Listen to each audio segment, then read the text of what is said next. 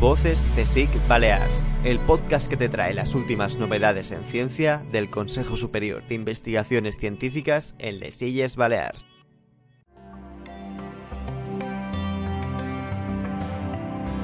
Bienvenidos, soy Adrián García, técnico de comunicación y divulgación en el Instituto de Física Interdisciplinar y Sistemas Complejos, el IFISC. Hoy os traemos el segundo episodio de nuestro podcast, Voces CSIC Balears, un espacio en el que queremos presentarte las voces de nuestros investigadores e investigadoras y en el que tú también tendrás mucho que decir.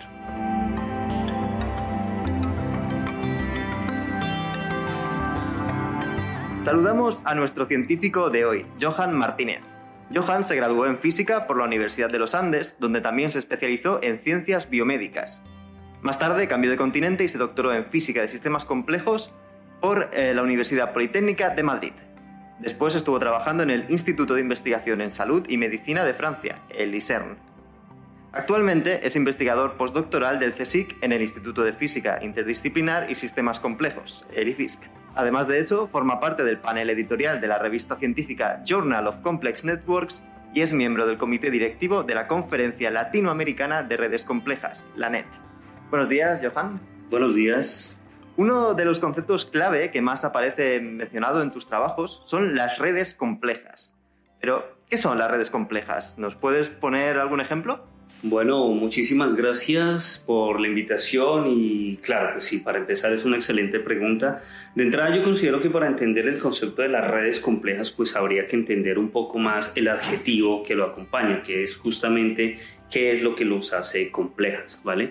Entonces podemos, porque el concepto de la red es relativamente intuitivo, es simplemente una colección de nodos que están unidos o una cantidad de actores o entes que están conectados de una u otra forma, llámese entes como eh, personas en la sociedad, jugadores en un partido de fútbol o grupos de neuronas en el cerebro, se puede entender de esa forma, ¿vale? Pero ¿qué es lo que los hace complejos, ¿vale?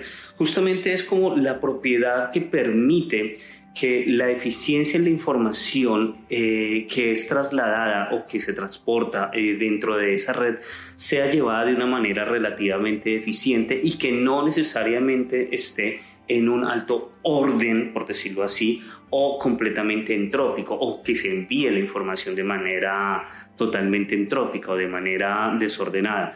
Pensemos, por ejemplo, eh, la idea de una red social, supongamos, en la cual todos los entes están completamente ordenados, o sea, como que yo tengo que pedirle permiso a mi compañero de al lado para enviarle información al compañero siguiente y este tiene que pedirle permiso al compañero de al lado para enviarle información al compañero subsiguiente y así sucesivamente.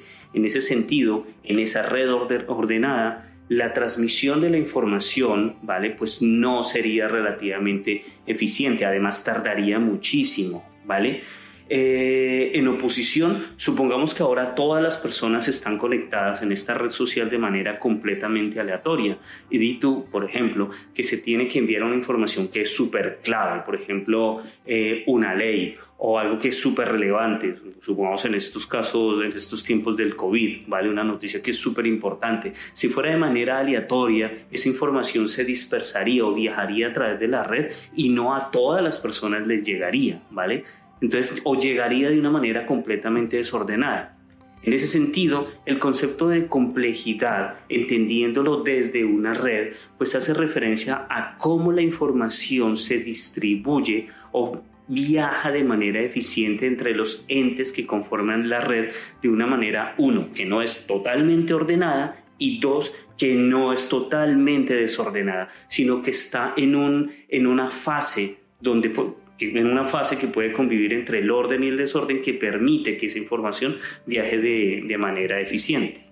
Quizá pueda sorprender que después de graduarte en física decidieras cursar un máster en algo aparentemente tan distinto como es la biomedicina y que luego hayas trabajado en temas tan apartados entre sí como el cerebro, los deportes o el análisis de mercados mobiliarios.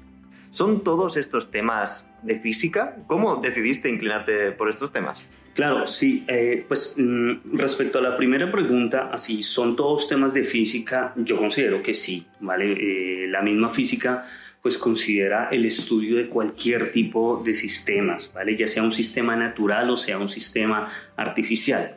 Quizá lo que ha sucedido es que las personas hemos puesto como, o sea, nos hemos interesado o, hemos estado más atentos a grandes descubrimientos de la física que van eh, en sistemas que son completamente grandes o macroscópicos, por decirlo así. Qué sé yo, supongamos cosmología, astrofísica, estudio, estudio de galaxias. En contraposición, pues una gran parte de los científicos también se ha centrado en el estudio de sistemas que son infinitesimalmente pequeños. Supongamos, por ejemplo, sistemas que son que viven en el mundo cuántico, ¿ok? En ese sentido, como que las personas suelen ver a la física eh, o a la investigación en física solamente investigaciones que se centran en lo macro, galaxias, eh, hoyos negros o eh, sistemas que son extremadamente pequeños, el mundo cuántico, altas energías o partículas elementales. Pero no necesariamente eso es así. También existe una mesoescala, una escala que no es ni pequeña, ni extremadamente pequeña, ni extremadamente grande. Esa mesoescala es justamente la escala en la que vivimos. ¿Ok? Una escala del espacio y del tiempo que es en la que vivimos, que es en la que conviven los sistemas biológicos. En ese sentido de la física que nosotros hacemos en el IFIS, o que justamente en la que nosotros nos centramos es, justa, es exactamente eso, en tratar de, de entender desde las herramientas de la física y desde las herramientas de la matemática el comportamiento de sistemas que sean naturales y artificiales que puedan convivir en, la, en el espacio-tiempo o en la mesoescala. Ahora, respecto a la segunda pregunta, a cómo me decidí, a cómo me incliné por estos temas, pues mm, nació algo, pues eh, eso ya fue quizá algo personal. En efecto, estudiando física tuve que ver, pues claro, los clásicos cursos de cuántica, eh, de astrofísica, de relatividad general y todo esto, pero siempre, pero siempre me llamó la atención es, bueno, eh, preguntas básicas, supongamos, de la sociedad se pueden cuantificar algunas cosas de la sociedad, se pueden cuantificar algunos aspectos de la economía con herramientas que se puedan traer o que se puedan extraer desde la física o se puede estudiar el comportamiento no solo de las personas, sino quizá de las neuronas, de sistemas biológicos o justamente se puede entender el comportamiento o algunos fenómenos asociados al cerebro con herramientas de la física y de la matemática. En ese sentido fue ahí donde yo empecé a inclinarme por estos temas. Uno de tus últimos artículos trata sobre dinámicas no lineales y las redes en los deportes. No te vamos a poner en el compromiso de que nos digas cuál es tu equipo favorito, pero sí que nos cuentes algo más sobre esto. Porque, ¿qué puede aportar un físico al deporte?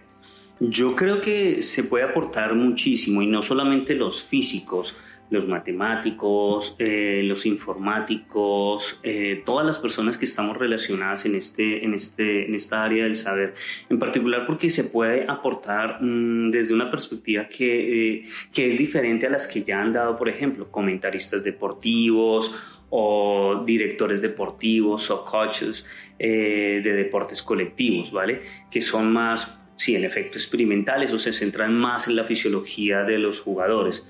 Cuando uno tiene una gran cantidad de datos asociados a la posición o al tiempo de los jugadores, uno puede hacer muchísimas cosas y más con las herramientas computacionales que tenemos actualmente. Entonces podemos aunar, por ejemplo, al performance, al desempeño del jugador y no solamente de manera desde el punto de vista individual, pero mucho más importante, que es lo que atañe a la física y los sistemas complejos. Eh, entender un poco más el desempeño de, de la colectividad de los jugadores que conforman un equipo. Y eso es lo que es más relevante porque entre ellos siempre van a haber una interacción. Y eso es parte de las áreas de estudio de la física de los sistemas complejos, ¿ok? Entender las interacciones de los entes que conforman un sistema. Se puede entender entonces eh, la eficiencia o se pueden, inclusive, eh, se puede aportar acerca de estrategias para los, para, para, lo, para los equipos. Y muy a futuro, todavía faltaría muchísimo, pero también yo creería que las empresas que están asociadas a, a las apuestas deportivas también se podrían ver beneficiadas a futuro. Claro, sobre esto que comentas, eh, cada vez tenemos una cantidad mayor de datos, cantidades que ya rozan la ciencia ficción. Y entiendo que cuantos más datos, mejores son los modelos que se pueden plantear a la hora de anticipar o predecir comportamientos. Pero ¿significa esto que en un futuro no muy lejano, o, o, sí muy lejano, se podrán predecir los resultados de eventos deportivos casi con exactitud? Yo creería que los aportes que, nosotros estamos haciendo desde la interdisciplinariedad, o sea, eh, ciencias de la computación, matemáticas y puntos de, y perspectivas de la física, eh, no, no, no necesariamente van a servir para predecir con muy poco rango con muy, o con, con, alto grado de exactitud el comportamiento de algunos jugadores. ¿vale? Hay que tener en cuenta que tanto los jugadores como su colectividad de, de equipo dependen de muchísimas, de una, de una ingente cantidad de variables, inclusive el, inclusive el clima, el estado de ánimo. Entonces es muy difícil tener control sobre todos estos. Pero lo que sí se, puede, lo que sí se podría ah, llegar a hacer a futuro es, por ejemplo, anticipar estrategias si nosotros podemos analizar el estilo de juego con las herramientas que nosotros estamos, estamos haciendo, estamos usando actualmente en la física de un cierto equipo, pues a futuro potencialmente ya, ya, ya, otros equipos que tengan que jugar un match específico contra este que se está estudiando y de los cuales ya se tiene una serie de resultados sobre su colectividad, pues ya estos nuevos equipos ya pueden implementar una serie de estrategias. Y esa es prácticamente la idea. Sí que se podrían anticipar estrategias, pero no creo que se puedan eh, llegar a predecir exactamente el comportamiento de, de los jugadores o de la colectividad. Cambio de tema completamente porque además de deportes, también has trabajado en otro tema que parece tan alejado de la física clásica como es el cerebro. Concretamente has publicado un estudio que analiza la dinámica de la actividad cortical. Pero ¿tiene alguna similitud? ¿En qué se parece el cerebro a un partido de fútbol? Lo que es muy divertido, yo considero que lo que es muy divertido del área de estudio que, eh, en la que nosotros nos centramos es que muchísimas veces es transversal a diferentes tipos de sistemas, en particular desde el punto de vista de las redes complejas. Piense, por ejemplo, que nosotros podemos ver una red en un partido de fútbol o de baloncesto, supongamos en un partido de fútbol, podemos entender una red como conformada por unos jugadores que son los nodos que se envían información, que son los pases. ¿Okay? Ese es uno de los varios tipos de redes que se pueden estudiar en el, en el, fútbol. Pero aquí lo relevante es que siempre vamos a tener redes compuestos por nodos y por una serie de links que los conectan. Ahora, si nos vamos al cerebro, podemos llegar a entender esos nodos o el equivalente de esos nodos de una posible red cerebral como simplemente un grupo de neuronas que están interconectados y que se están enviando información los unos a los otros, información o de tipo correlación o de tipo causal. En ese sentido, lo que es muy divertido y lo que es muy bueno de nuestra área de estudio es que con las mismas herramientas con las que podemos estudiar eh, algunos componentes del fútbol o algo, podemos contestar algunas preguntas sobre fútbol, con esas mismas herramientas también podemos estudiar algunos fenómenos en el cerebro, en particular pues en este último, en este último trabajo que fue publicado eh, pues la idea era justamente esa, entender cómo era la interacción de algunos grupos neuronales localizados en la corteza cerebral. Eh, se, les se, se, puede hacer un análisis sobre la red cerebral de estos grupos neuronales en una condición que se denomina resting state o estado de reposo. En particular cuando a, cuando a estos sujetos, cuando a los sujetos del estudio eh, se les toma una cantidad de datos o un tipo de datos específicos que se denomina magnetoencefalografía, que es muy reciente en el ámbito de la neurociencia. Y ya para acabar y cambiando otra vez de tema completamente, eh, aunque te has incorporado hace poco en el IFISC, trabajarás dentro del proyecto Know Yoguer, que busca entender mejor la influencia de los nuevos modelos de mercado de alquiler vacacional y cómo estos afectan al mercado residencial. Esto ciertamente se percibe como un problema en las Baleares. ¿Cómo puede estudiarse un tema tan complejo y con tantos agentes involucrados? Sí, eh, es, una pregunta súper pertinente, en efecto, como tú muy bien lo dices, para Baleares, pero mm, démonos cuenta que es un, es, un fenómeno eh, que es global. El advenimiento, por ejemplo, de nuevas plataformas que no necesariamente son residenciales, sino que son más de tipo turístico, supongamos el Airbnb, pues no, no, podemos decir si ha afectado o no, pero sí que ha influenciado el mercado que ya existía, que era un mercado residencial. En el caso específico de España, para que todos podamos entender, por ejemplo, las plataformas como el Idealista o Fotocasa. ¿Ok? Entonces, aquí lo relevante es que eh, eh, el advenimiento de este tipo de, plataformas, eh, de nuevos modelos de mercado que no son, que, que son vacacionales, pues justamente lo que hace es alterar la oferta y la demanda. Si bien nosotros aquí vamos a estudiar con datos de las Islas Baleares, pues lo vamos a extender a, datos de toda España y pues inclusive para toda y para inclusive para toda Europa. En ese sentido, pues eh, una primera aproximación que también puede ser asociada a redes complejas es simplemente empezar a mirar cuáles son las agencias inmobiliarias que están alterando, que sean o que tienen cierta influencia en el uso del suelo asociado, asociado al mercado residencial y o asociado al mercado vacacional. Entonces se pueden a futuro crear diferentes redes en las cuales ahora los nodos ya no son ni jugadores de fútbol ni grupos neuronales, sino ahora los nodos son agencias, eh, agencias inmobiliarias y que están conectadas entre sí en términos de, por ejemplo, la agencia A está conectada con la agencia B porque están ofreciendo, están ofertando una cierta cantidad de pisos o apartamentos tanto en venta como en renta, en ciertos rangos de, en ciertos rangos de precio, en, específica, en, zonas específicas. En este estudio, entonces, lo que nos interesa o lo que, lo que es un gran objetivo es ver cómo es la evolución espacio temporal, o sea, a lo largo del tiempo y a lo largo de todas las Islas Baleares y a futuro en España y a, y nivel de Europa también, cómo es la evolución espacio-temporal de la convivencia de estos dos tipos de sistemas o de estos dos tipos de mercados, en efecto, el alquiler vacacional y el mercado residencial. Pues para terminar, solo me queda agradecerte que hayas participado en este podcast, Johan, y bienvenido a Alifisk. Bueno, muchísimas gracias, gracias Adrián por la oportunidad que, me dan en esta entrevista y pues bueno, cualquier cosa acá siempre estaremos totalmente dispuestos para potenciales colaboraciones. Espero estén muy bien. Uno podría pensar que la física, los alquileres de vivienda y el deporte son mundos que poco tienen que ver, incluso que son irreconciliables.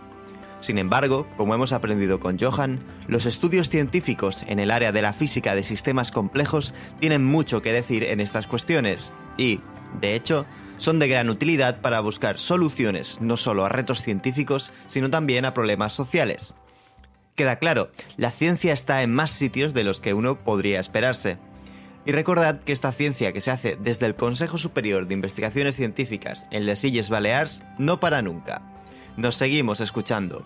Mientras tanto, podéis seguir nuestras novedades en arroba Balears en Twitter, Instagram y Facebook. Nos vemos el mes que viene. Mientras, la ciencia como la vida seguirá abriéndose camino. Voces CSIC Balears, el podcast que te trae las últimas novedades en ciencia del Consejo Superior de Investigaciones Científicas en Les Illes Balears.